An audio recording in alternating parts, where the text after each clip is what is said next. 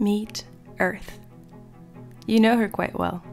She's in fact the only planet you'll ever know.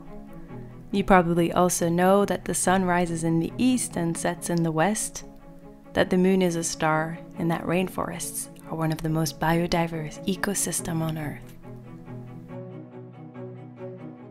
You know that oceans are salty, and that rain comes from evaporation. All these, and many more, are facts you know. Facts as much as the fact that the word earth in French, la terre, is the same for planet and for soil. These facts, these things you're told to know and have to know, you know, they'll never really teach you about her. You can read all the books, watch all the shows, you can study at university and wear a suit. It really makes no difference.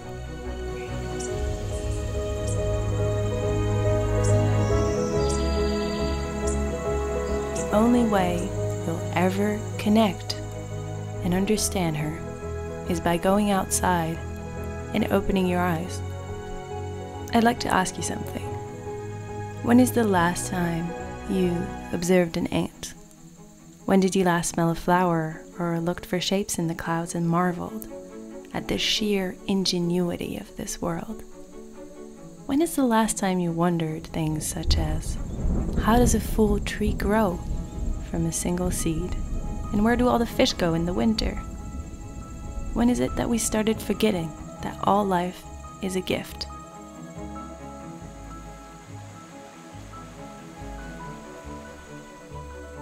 Was it our phones, our computers? Was it the new sneakers we wanted because everyone had them? And you know, maybe it's not even about when, but how really. How could we let that happen? Everything we see, touch, and taste and do every single day is a product of two simple elements sun and water. The oceans and the trees create the oxygen we breathe, and without them, life as we know it on Earth would be impossible.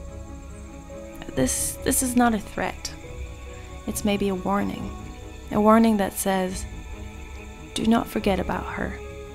You'll die eventually, and when that day comes, you don't want to think to yourself, I never knew the name of the one tree in my backyard.